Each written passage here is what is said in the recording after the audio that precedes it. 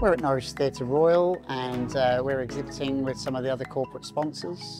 Exhibitions are a little bit of a one-off, so where we used to create backdrops for people, um, not being very sustainable, and then they would end up in the bin.